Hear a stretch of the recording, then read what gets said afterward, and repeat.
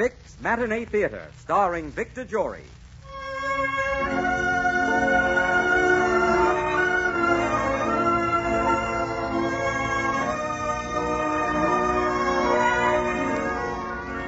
Vicks, the makers of Vicks Vapor Rub, Vicks Vatronol, Vicks Cough Drops, and Vicks Inhaler, present the Matinee Theater, starring Victor Jory in The Scarlet Pimpernel.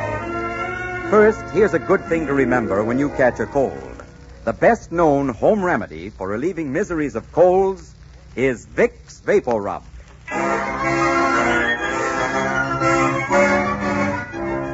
The Scarlet Pimpernel is one of the most dashing figures of legend. He was a man of a hundred disguises who lived in almost continual masquerade. He had one great aim in life to rescue the persecuted in France from the guillotine of the French Revolution. In England, only the few members of his own band knew that that great fool, that fop, that overdressed wealthy dandy, Sir Percy Blakeney, was the fabulous Pimpernel. Our story starts in England on Sir Percy's wedding day, the day when he claimed the great French beauty, Marguerite Saint Just, as his bride.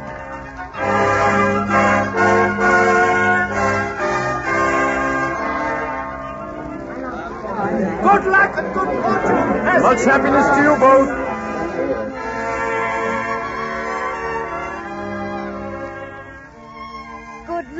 Good fortune, happiness. Oh, what lovely things to wish. Are you happy? Very, very happy. I started to think how drab my life would have remained had you not walked into the Comédie Française that night. I asked you to marry me that first night. I meant to. But I asked you so many times I've quite forgotten. no, no, you asked me the second night. The first night you said, You are the greatest actress in the world and the most beautiful, and I love you. But you did not speak of marriage. But the second night and the third and every night thereafter. Oh, you must have known all along I would marry you. I was too much in love to hide it. Ah, you're so beautiful, Marguerite. You know, my darling, you are quite a puzzle to me. Yes? How do you mean? Sometimes you seem to me like two different men. When we are in public, you act so, so differently than when we are alone. Most husbands do. Which way do you prefer me? As you are now. Oh, Percy, this estate of yours is so beautiful. It reminds me of some of the old places in France before the populace destroyed them. Careful.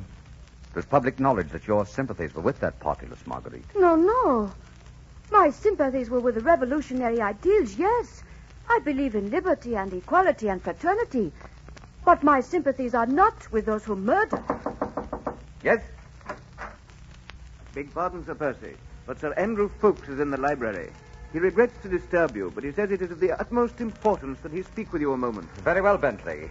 Will you excuse me, my dear? Oh, Percy, please do not be long. I'll try not to be.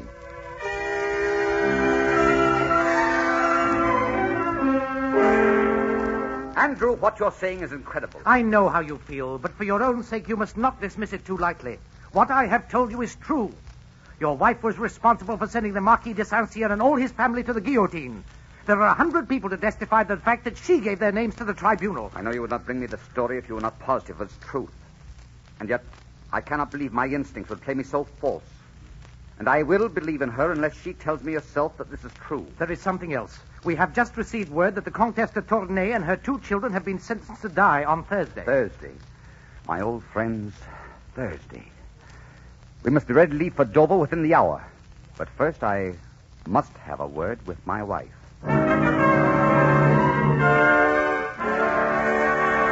No, no, all I want to know, Marguerite, is did you send the Marquis and his family to the guillotine?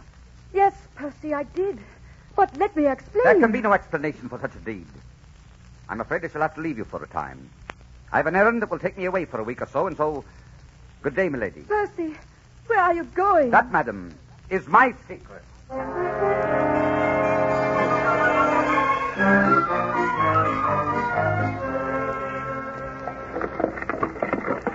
Whoa, whoa! Monsieur Bibot, have you caught the pimpernel yet? No, but I will, old woman. I am the shrewdest gatekeeper in all Paris. If I had been on the north gate of Paris last week instead of this one, The Pimpernel would be in jail right now. Ah, oh, would he now? That fool Gros Pierre was at the North Gate last Monday when along comes a market cart laden with casks and driven by an old man with a boy beside him. Gros Pierre looked in a few of the casks and let the cart go through. Of course, of course. Pimpernel was the driver. Any fool should have known that. Not half an hour later, up comes the captain of the guard with a squad of some dozen soldiers with him. Has the cart gone through, he asks. Yes, says Gros not half an hour ago. You let them escape, shouts the captain. You will go to the guillotine for this. Hidden in that cart were the Duc de Chalis and all his family. And the driver was none other than that cursed Englishman, the Scarlet Pimpernel. oh, what a fool! Fool! But you have not heard all of it. The captain rushes through the gate, followed by his dozen soldiers. and of course it was too late. Oh, the fools. They should have examined the casks properly. No, old woman. Those aristocrats weren't in the cart. The driver was not the Scarlet Pimpernel. In fact, there was nothing wrong with the people in the cart. No, no. But the captain of the guard was the Pimpernel, and every one of his soldiers were the aristocrats we were looking for. one thing I will tell you.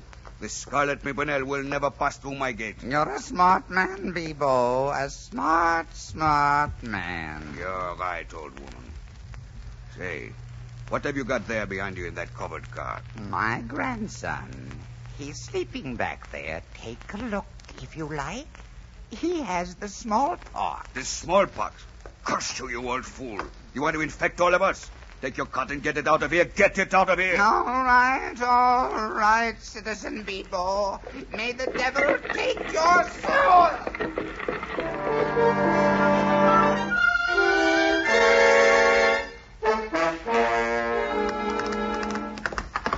Bibot! Thousand Bibot! Have you seen a cart? I have seen a hundred carts, Captain. Oh, Citizen Chauvelin. My gate is greatly honored by your presence. Have you permitted the cart to pass, driven by an old hag who said her son had the plague? Yes, a horrible old woman. Oh, you stupid fool, you idiot! That cart contained the Comtesse de Tournay and her two children, all of them traitors and condemned to death. And the driver, your so-called old woman, was the Scarlet Pimpernel himself.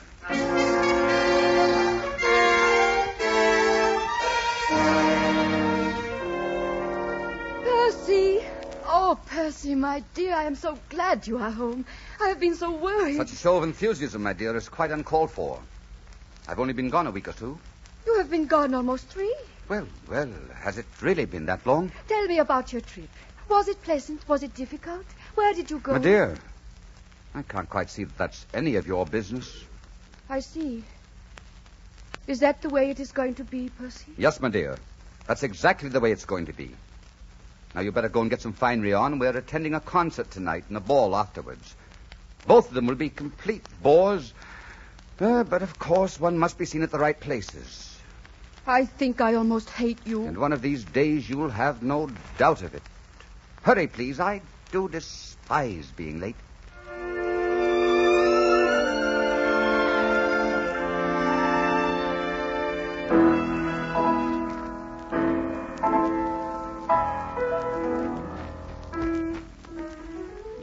Excuse me if I leave you alone in the box for a moment, Marguerite. This concert is beastly dull. I'll be back before it's over and escort you to the ball. Yes, of course, Percy.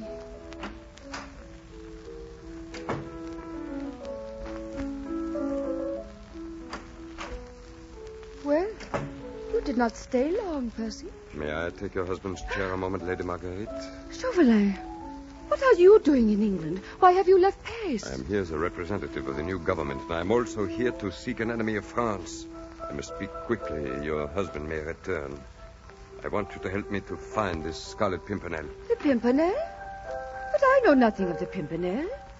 And if I did, I would not tell you. Lady Marguerite, I have in my possession a letter that definitely proves that your brother, Armand Saint-Just, is a member of the Scarlet Pimpernel's No. band. He is in France now. One word from me, and he dies on the guillotine.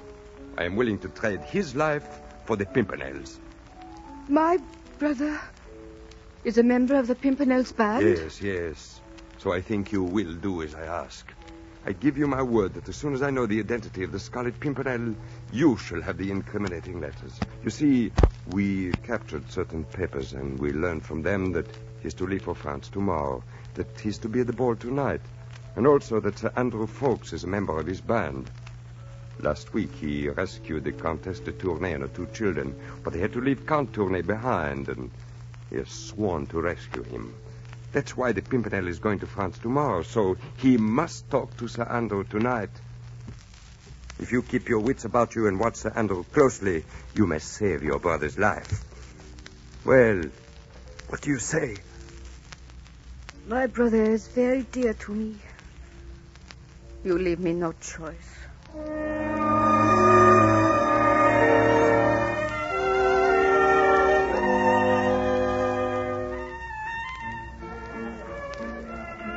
Your mind is not on your dancing tonight, my dear. Perhaps you're bored. Percy, I feel a little faint. Would you get me some water? I will sit in the reception room a moment. Of course, my dear. Why, Sir Andrew, what are you doing alone in the reception room? Surely you do not lack for a partner. No, no, I, I was I was just a little bit tired. Oh, how deceiving you are. You stole in here to read a love note. Hmm? See? There it is on the floor. Uh, you hmm. dropped it as I came in. I have it now. Now, what does this small scrap of paper say? I must ask you to return that piece of paper, Lady Marguerite. It was something I wished destroyed. Oh, well then, we will destroy it. Here, I will hold it to the flame for you. Oh. There. Do you feel better now, Sir Andrew? Oh, immeasurably. and so do I. So, perhaps you will invite me to dance? Oh, with pleasure.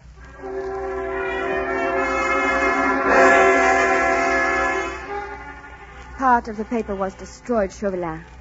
But when I held it to the candle flame, I read the words, Start myself tomorrow. And also, if you wish to speak to me again, I shall be in the supper room at one o'clock precisely. And it was signed with the crest of the Scarlet Pimpernel. Mhm. You've done well. It is almost one. I will go to the supper room at once.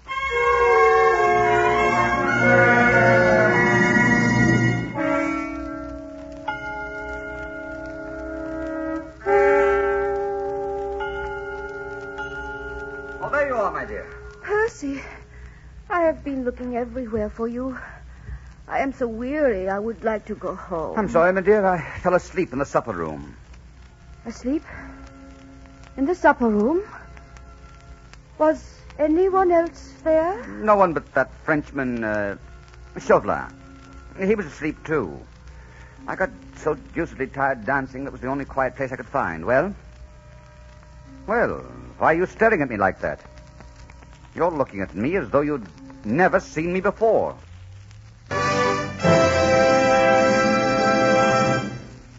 In just a moment, we will bring you Act Two of The Scarlet Pimpernel, starring Victor Jory from the stage of Vicks Matinee Theater. These days, when children catch cold, most mothers believe in quick action.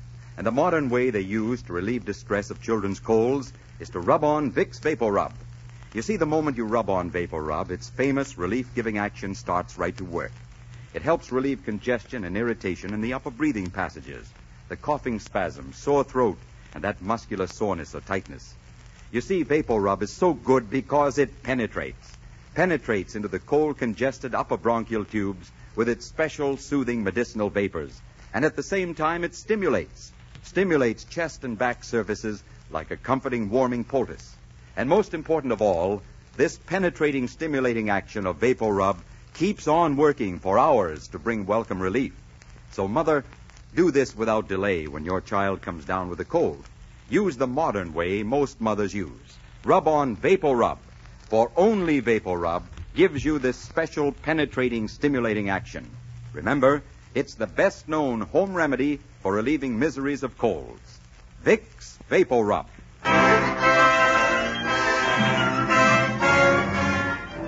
And now the second act of the Scarlet Pimpernel starring Victor Jory. As the curtain rises, Marguerite and Percy have just arrived home. As they walk through the gardens toward the house, Marguerite hesitates, then turns to her husband. Percy, Yes, my dear. please, Do not go in for a moment. There is something I I would like to talk to you about. Yes? What is it? It is it is very hard to tell you. It is very hard to tell you anything, Percy. You are so far away from me. What did you wish to say to me, Marguerite? It is Armand, my brother. He is in great danger. Monsieur Chauvelin told me that he was a member of the Scarlet Pimpernel's band. And Chauvelin said that if I did not help him find the Pimpernel, Armand would be executed in France. Armand will be taken care of. So do not worry. Do not concern yourself any further. Do you think you can do something about it, Percy? I think I can. Oh, you are looking at me as though you despised. Me. Perhaps I do. Then why did you marry me? Because I thought I thought I was marrying a vastly different woman. I thought I was marrying a woman of spirit and courage and honor. And instead I found I'd married a woman who was responsible for the death of a family I had known and loved. You can hardly expect me to care much for you, my dear, after that. Percy, even up to the very morning. Cyr went to prison, I tried desperately to save him. I would have told you the whole thing was a horrible, incredible accident if you would have listened. Many people have told me that you always despised the Marquis and made no secret of it. Yes, I despised him, but I would not kill him. Do you know what he did? He had Armand, my brother, thrashed by his lackeys. And do you know why? Because Armand was not of the aristocracy and had dared to love his daughter. Percy, he was not a good man. He plotted with Austria against his own country. When that knowledge came to me, I took it to headquarters. I thought it was my duty to France. I still think it was. But I did not know his enemies would use that as an excuse to assassinate him and his whole family. It's a very pretty story, but you can hardly expect me to believe it. No. No, I do not expect you to believe it. You have made up your mind to believe the worst of me, and you will. Well, I guess that doesn't matter very much anymore. You can only be hurt so much, Percy. After a while, pain stops having any meaning. It's a great pity, madame, that you don't know the identity of the Pimpernel. I can assure you you could sell the information far more dearly than the price that has been offered you. But, Percy, I do know the identity of the Scarlet Pimpernel. I learned it tonight. And I did not sell the information, even for my brother's life. And do you know why, my dear? Because I love you. No matter what you think of me. Good night, Percy. Good night, Marguerite.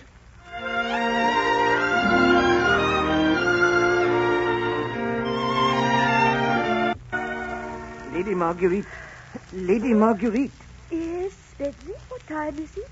Morning, milady. And a package just came for you. A package? From whom? It's from Monsieur Chauvelin.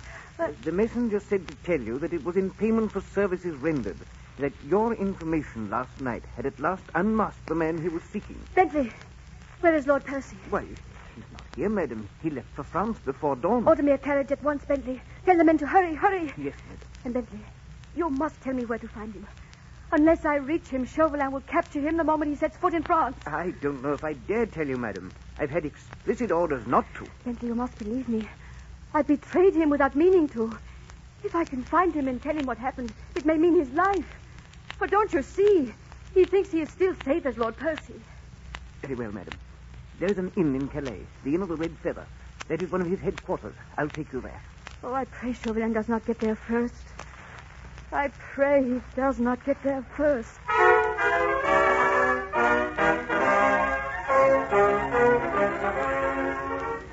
Well, Citizen Chauvelin, welcome to the Inn of the Red Feather. Thank you, Citizen Brogard. Please bring me some dinner at once. I've heard much about your food here. At once, Citizen Chauvelin.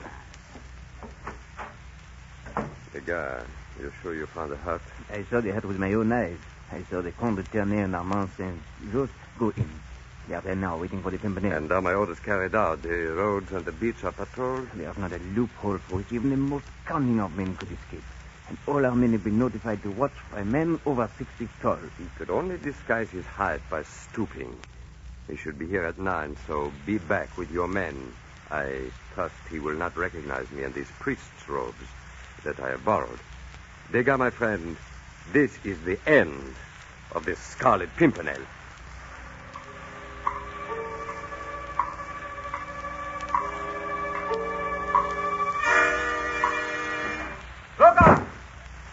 Good evening, citizen. Good evening. Good evening, Sir Percy. I'm starving to death, Brogard. Bring me some food quickly. Quickly. Oui, my lord. I've never seen our fat host move so fast before. Why? Odd. See, I vow I never thought of meeting you here. And uh, I didn't know that you were a priest, Monsieur Chauvelin. oh, my word, old boy, you're choking, aren't you? Here, let me uh. clap you on the back. Oh, I'm sorry if I upset you while you're eating your soup. Oh, oh, oh, here, let me clap you again. You're having a dreadful time with that soup. Very hot. Yes, I... You know, Chauvelin, I should have known you anywhere. Uh. Although the costume does change you a bit. You, you keep looking at your watch, sir. You must be in a hurry. Well, don't let me keep you. Well, nine o'clock. Yes, yes, nine o'clock. yes. And you're consulting your watch again, aren't you? What's the matter? Don't you trust Brogard's clock? Oh, it must be a tryst with the lady, Chauvelin. Nothing else could make a man watch the clock so closely. Uh, Ah. Well, what do you say to that, Monsieur Chauvelin? huh? Oh, uh, pardon, monsieur. I- I'm afraid I was not listening. You were saying. Oh, uh, nothing very much. Here, have a, a pinch of snuff, Monsieur Chauvelin. Why, thank you. Uh, Ah, there's nothing quite as satisfying as a good whiff of hmm? snuff. Only that, my friend, was not snuff, that was pepper. Sorry to have to leave you now, but I have business elsewhere.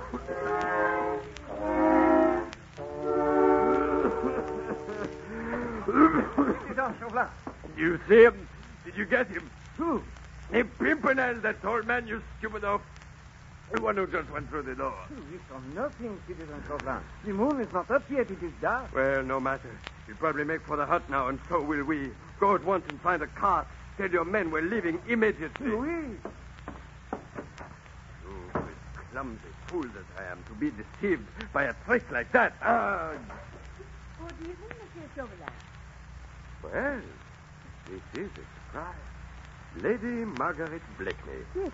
I'm glad you came. You may be very helpful, Lady Marguerite. Not to you, Monsieur Chauvelin. I have found the peddler's car, Citizen Chauvelin. And here is the peddler. Good, good. Can you take us to the hut of Père Blanchard? How much is there in it for? Oh, uh, ten gold pieces? Ten gold. Huh?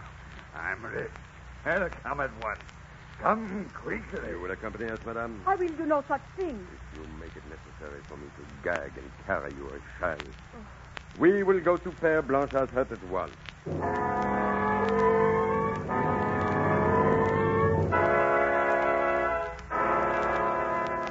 This hut is empty. They got. Ah, where are you men? Where are the Tournay and Saint-Just? Sergeant! Sergeant Giroux!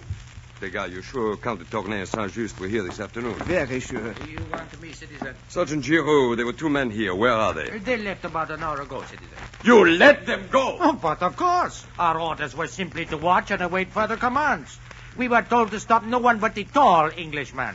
The men in here were two short men, two Frenchmen. They went down to the shore and got They into a boat. went down to the shore and got into a boat, and you let them, you, you fool, Well, you. you see, Monsieur Chauvelin, you can be outwitted even with your prize within your hands.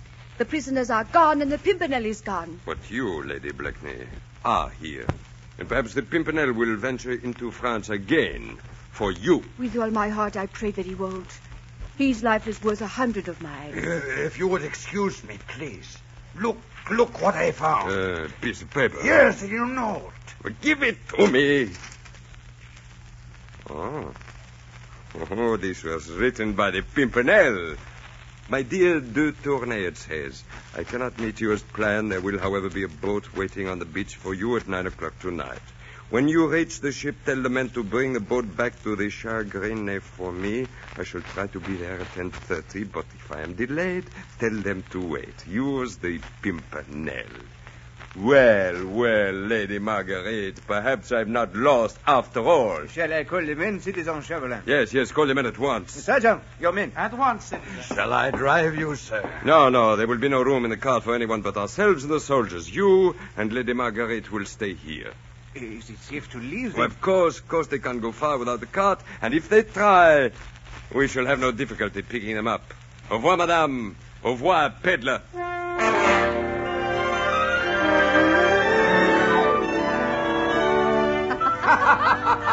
oh, Percy, Percy. What a wonderful peddler you made. If I had not been so frightened, I would have laughed myself into hysterics. You mean you you knew me all the time? Of course, I knew you the minute you entered the inn. You see, my darling, I am your wife. Well, then I may as well get the crook out of my back.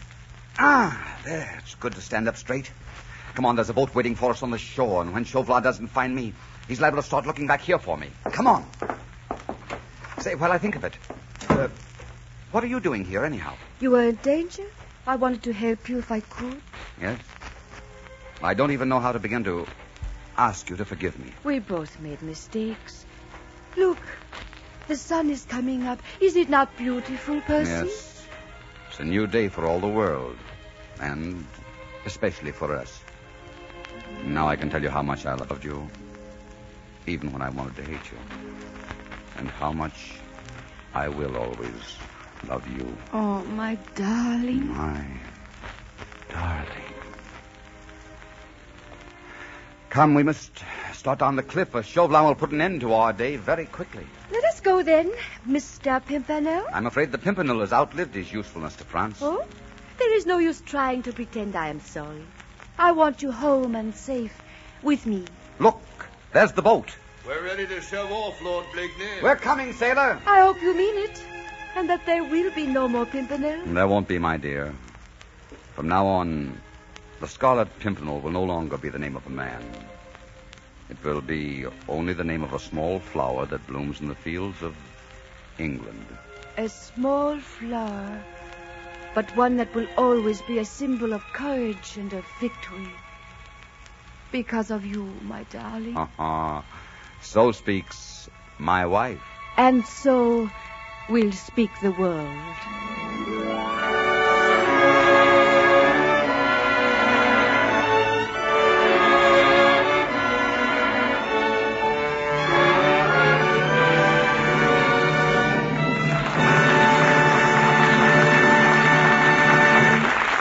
In just a moment, a word from Mr. Jory. If you have a cold, probably the one thing you want most right now is relief from the miserable distress of that cold.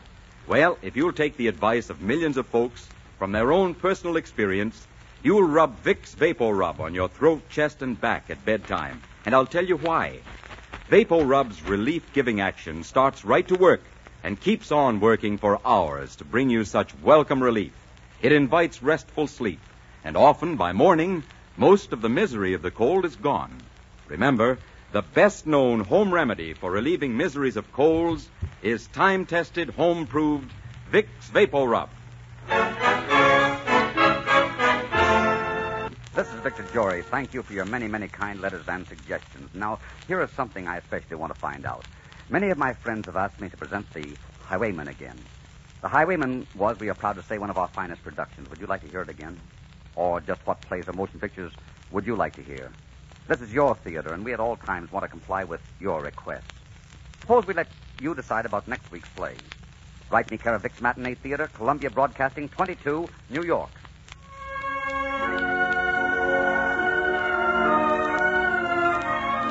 Victor Jory is currently co-starring with Miriam Hopkins in The Perfect Marriage. Our play today was adapted by Jean Holloway from Baroness Orczy's novel, The Scarlet Pimpernel, and was directed by Richard Sanville. The role of Marguerite was played by Gertrude Warner. Music for our series is under the direction of Mark Warnow. Be sure and listen again next week when Vicks Matinee Theater presents your request play starring Victor Jory. This is CBS, the Columbia Broadcasting System.